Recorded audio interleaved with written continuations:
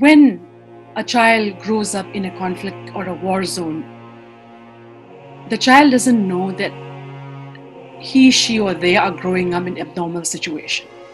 This is how much India was ignorant about what was happening in Manipur and northeast of India.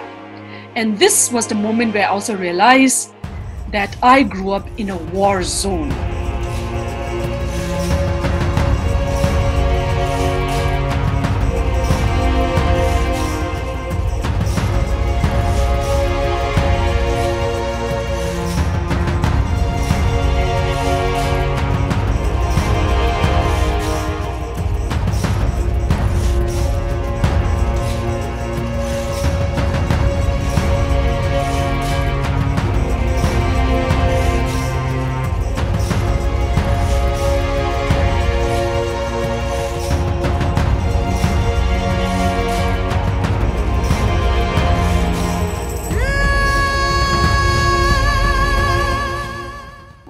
the day I was born, there was military curfew in Manipur.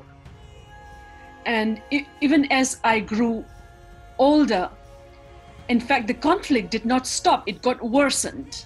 Rights अभी हमारे देश में हमारे सरकार बोलते हैं human rights जो करते हैं वो वेस्टर्न एजेंडा वाले लोग हैं